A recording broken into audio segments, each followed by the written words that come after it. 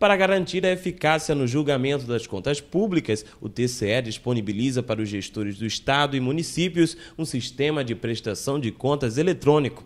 Os advogados que atuam na modalidade do tipo governo ou gestão poderão acessar os processos através da internet, mas antes precisam fazer um cadastro. Vai clicando nas abas, né? Primeiro tem um aviso identificando o que é que ele vai ser necessário para se cadastrar. Depois tem uma, uma segunda aba de validação do seu certificado digital. Ele reconhece como procurador, como advogado. E depois aparece um, um quadro lá para ele preencher. Ele já vem previamente preenchido dos dados do certificado digital dele. Ele vai apenas complementar algumas informações. O cadastro é o primeiro passo para que os advogados tenham acesso ao banco de dados do tribunal e possam, assim, usar o sistema ETCE. E o próximo passo é ele assinar um termo de adesão às regras do sistema, como todas as outras partes já assinaram por ocasião da prestação de contas. Né?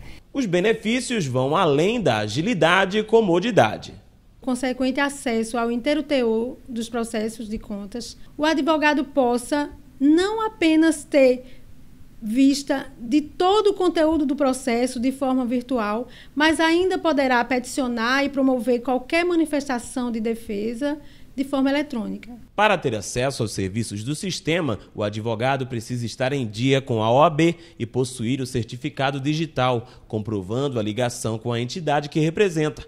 Caso contrário, estará impedido de representar os poderes, sejam eles do Estado ou dos municípios.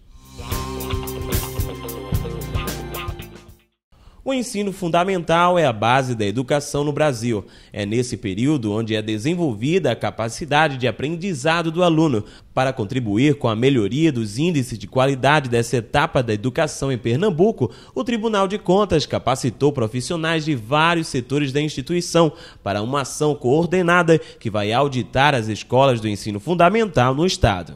A auditoria estadual coordenada é, da educação ela tem o propósito de fazer uma avaliação dos anos iniciais do ensino fundamental é, que está sendo oferecido no estado de Pernambuco, articulando o trabalho de unidades de fiscalização interna do mesmo do, do Tribunal de Contas. Então, nesse trabalho a gente vai ter a participação da GEAP, que trabalha como coordenadora desse esforço, do Departamento de Controle Municipal e do NAP, né, que é o Núcleo de Atos de Pessoal. Acompanhando os indicadores educacionais do Brasil, o planejamento estratégico das auditorias compreende três eixos.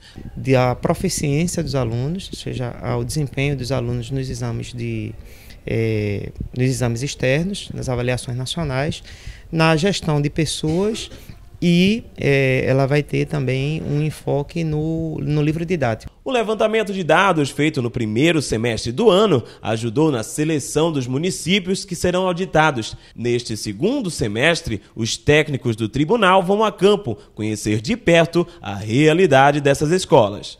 A partir desses dados colhidos em campo nesses municípios e a partir de um questionário que nós vamos fazer abrangência, esse sim estadual, dos 184 municípios, a ideia é que a gente possa promover um evento no final do ano, que a gente possa promover, elaborar um documento, um documento de consolidação que tenha o propósito de apresentar um cenário, como é que está o cenário da educação no estado de Pernambuco, e aí a gente possa, de alguma forma, contribuir para o aprimoramento da da educação no município, para o aprimoramento das políticas públicas, da aplicação dos recursos com mais eficiência, com mais responsabilidade.